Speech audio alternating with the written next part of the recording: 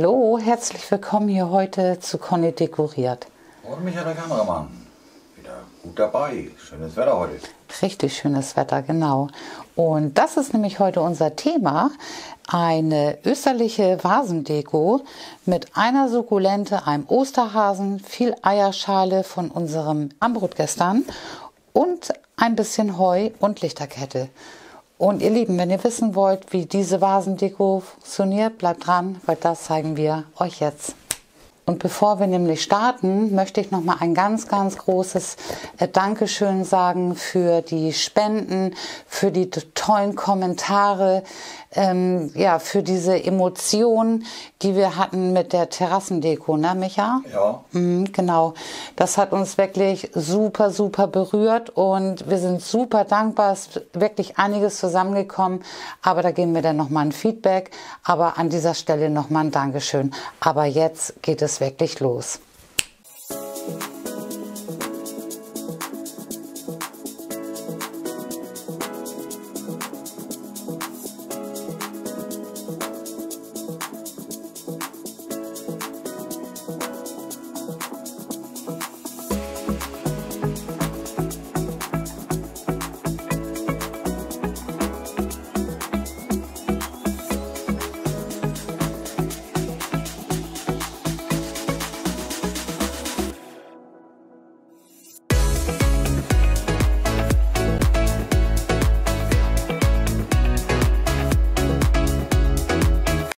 Das sind die Sachen, die wir heute brauchen. Und das ist nämlich die Basis, die kennt ihr schon. Das ist diese große Vase, die wir haben. Wir haben die im Plexiglas, aber da kann man jede Glasvase nehmen, die man hat. Auch kleiner oder größer, völlig egal. Dann geht es weiter. Ich habe jetzt hier noch eine Sukkulente gefunden.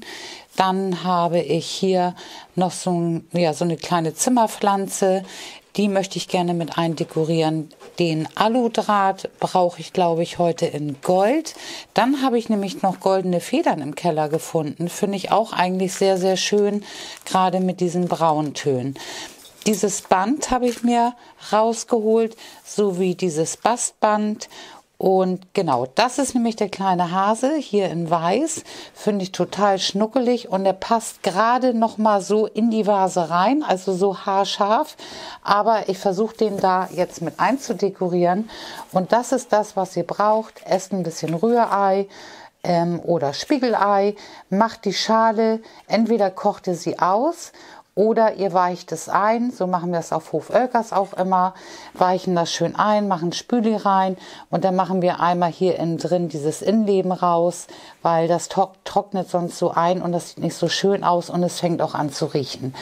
Genau, das ist die Schale, haben wir heute im Braun und hier haben wir nochmal Heu und es kann losgehen. Entschlossen. Ich habe nämlich hier noch eine kleine Bündellichterkette gefunden und die kommt da heute nämlich noch mit rein, weil diese Deko steht bei uns im Wohnzimmer und da finden wir das immer ganz schön, wenn abends da nochmal so kleine Highlights eingehen, ne Micha? Genau. Und Osterdeko kann ja ruhig ein bisschen bestrahlt werden. So, da fangen wir an mit dem Heu und ich nehme jetzt hier erstmal einiges an Heu so hier in die Hand, gehe hier schon mal mit der Vase rüber und mache mir jetzt hier erst einmal eine Lage Heu in die Vase rein, so ganz locker flockig.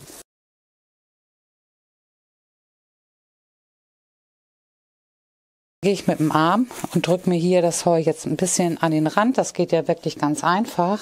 Und den kleinen Muggelhasen hier, den stelle ich mir hier in die Mitte schon mal rein. Guck mal, der ist doch wirklich niedlich. Auch so von der Seite, finde ich, ist der wirklich entzückend. Gefunden und der wird jetzt hier eindekoriert. Und jetzt kommt nämlich die Eierschale und die finde ich auch immer super, super schön. Die kostet so gut wie gar nichts, beziehungsweise wenn man Eier mag, dann hat man sie öfter im Haus und die kann man natürlich hier prima verwenden. Und ich werde jetzt hier die Eierschale ganz locker mit an den Rand reinlegen.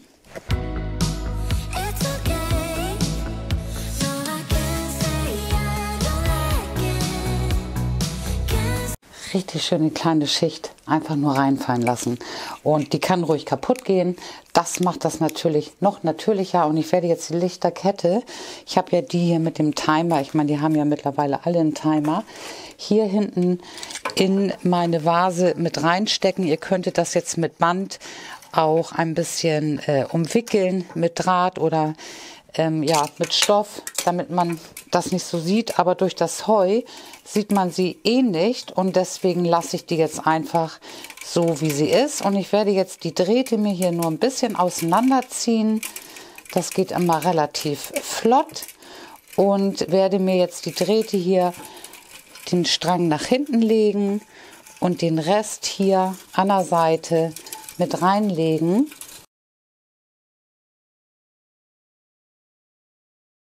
Ganz locker oben raufgelegt.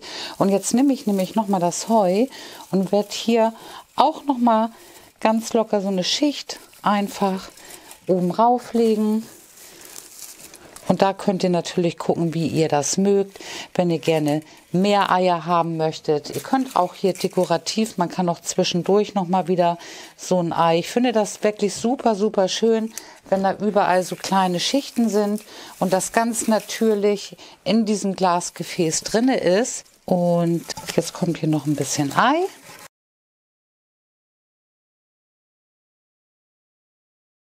Und jetzt kann man auch sehen, finde ich, mit dem Heu und der Lichterkette ist das eigentlich relativ wirklich charmant, oder? Ja, finde ich auch. Na? Jetzt haben wir hier wirklich schon so eine kleine Osterstimmung und jetzt gucke ich noch mal, ob ich hier ein bisschen Eierschale noch drauflege und ja, das mache ich noch mal.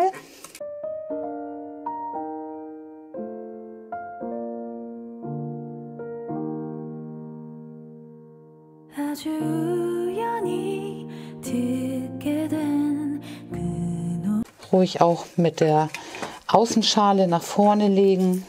Ich finde, diese Osterstimmung entsteht hier richtig, als wenn hier so ein kleiner Hase. Wir haben ja hier überall die Felder und hier sind wirklich ganz, ganz viele ähm, Kanickel und ja, wenn die Felder nachher richtig schön blühen, dann sieht man sie auch, wie sie ab und zu rausgucken. Das findet Sophie natürlich immer super interessant. Und so eine Stimmung wollten wir eigentlich heute erschaffen. So. Und ich habe jetzt hier diese Sukkulente, die nehme ich mir jetzt aus dem Topf und werde mir hier jetzt noch mal ein bisschen Erde unten abmachen. Ganz vorsichtig. Und werde mir jetzt eine große Eierschale raussuchen und die Sukkulente da reinstellen. Normalerweise nehme ich ja hier immer das Moos und das ist wirklich auch super zu empfehlen, weil das kann man hier jetzt wunderbar nämlich reinstecken und richtig schön festdrücken. Ähm, ich habe jetzt hier oben kein Moos, wir haben das Heu, aber auch das versuche ich mir jetzt hier einfach nur ein, hier unter die Eierschale reinzudrücken in die Erde. Und ja, das geht trotzdem wunderbar. Und ich möchte jetzt diese Sukkulente, ich glaube, ich nehme jetzt diese Seite. Eine zweite wäre jetzt auch super, super schön gewesen. Und stelle mir die hier jetzt einfach hier oben auf das Heu hinein. Aber auch eine reicht völlig aus. Wir haben ja die goldenen Federn. Und die finde ich jetzt auch wirklich richtig klasse. Also die habe ich, glaube ich, Ostern noch gar nicht benutzt. Und die stecke ich jetzt hier einfach in das Glas hinein, so wie ihr sie gerne möchtet. Und das werde ich jetzt einfach mal tun, verschiedene Höhen. Und das mache ich jetzt mal. Kann auch ruhig ein bisschen höher stehen. Ich drehe das mal einmal so.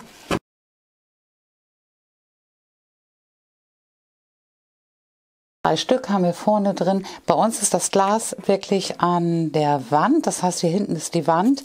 Das steht nicht frei. Würde es jetzt frei irgendwo auf dem Tisch stehen, würde ich die goldenen Federn einfach so in Position setzen, dass man das überall von außen sehen kann. Dass wir hier aber die Vorderfront als Ansicht haben, werde ich die goldenen Federn hier oben nochmal einfach so reinstecken, dass man von vorne praktisch das Gold hier hinten noch sehen kann. Wenn ihr die ein bisschen nach unten haben wollt, ich habe hier so einen Holzspieß, ich habe den hier zu Hilfe genommen und mir das einfach hier vorne nach unten gedrückt, ein bisschen in Position. Das ist immer nochmal so eine kleine Hilfe.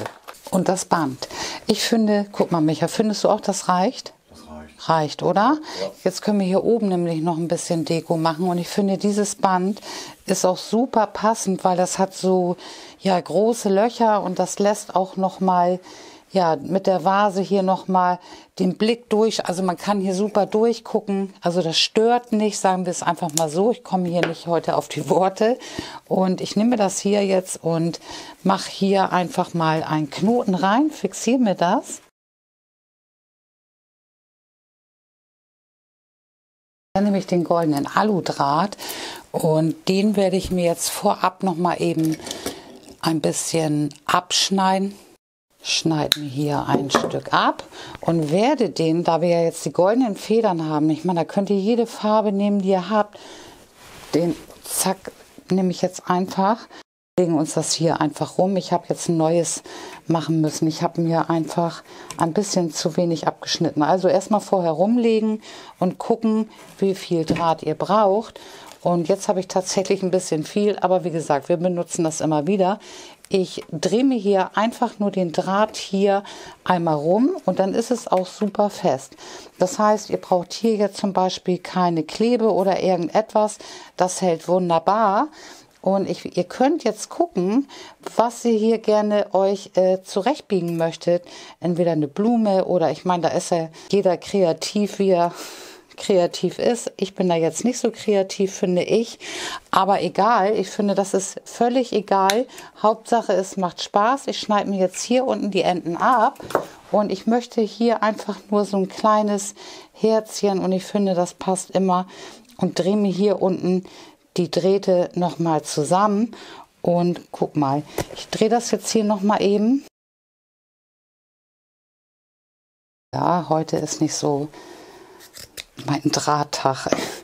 Also ich habe hier, ich habe das einfach jetzt hier so ein bisschen, ich wollte hier nicht noch weiter rumspielen, sonst rutscht mir das hier noch runter und das wollen wir nicht. Ich werde jetzt hier einfach die Schere nehmen und äh, mir den, äh, das Schleifenband so überlappend hinlegen und dann kann man hier einfach so einen Schnitt machen und dann hat man auch noch mal ein ganz niedliches Ende. Ich leg oder würde mir das jetzt hier am liebsten so ein bisschen an die Seite machen, damit man den Hasen auch noch wunderbar sehen kann. Und ich denke, so ist das ganz gut. So, jetzt haben wir hier oben die Schleife und jetzt haben wir ja noch Eierschale und ich finde diese Seite, da mache ich jetzt einfach mal einen Heißkleber ran und fixiere mir das hier am Draht, halt das ein bisschen fest. Schön vorsichtig, weil es wird relativ heiß. Warte jetzt erstmal, bis es trocknet. Und noch ein Stückchen Eierschale. Da mache ich mir den Heißkleber jetzt von außen ran. Und ihr könnt das hier, ich drehe mir das einfach jetzt mal so rum, dass wir die braune Seite außen haben. Und jetzt kann man hier, wie man das schön findet, überall die Eierschale miteinander ja, verbinden, verkleben und das mache ich jetzt nochmal. musste mir das mal eben umdrehen und gucken, wie es aussieht, weil ich finde, es reicht an Eierschale, aber ich finde, so eine goldene Feder kann hier außen ruhig noch runterhängen und habe die jetzt hier einfach mit Heißkleber ähm, äh, ja, festgemacht und ja, ich finde das eigentlich super, super schön. Und ich denke, so mit dem Licht und der Eierschale und Heu ist es wirklich österlich und fertig. Und das ist sie, unsere Vase mit Lichterkette, schön, da freuen wir uns heute Abend. Mit Timer brauchen wir nicht groß dran rumsuchen äh, und wir hoffen natürlich sehr, dass wir euch mit dieser Osterdeko heute inspirieren konnten. Und dann freuen wir uns über einen Daumen hoch, ihr Lieben. Folgt uns gerne auf Instagram, Facebook oder Pinterest. Da kommen immer so kleine Highlights. Da freuen wir uns auch immer sehr und auch Feedbacks mittlerweile. Und ihr Lieben, wir freuen uns, die Tage wieder mit und für euch zu dekorieren. Natürlich hier noch in Osterstimmung. Und ich sage bis bald, eure Conny und euer Micha, euer Kameramann. Genau. Fühlt euch gedrückt, bleibt gesund. Tschüss. Tschüss.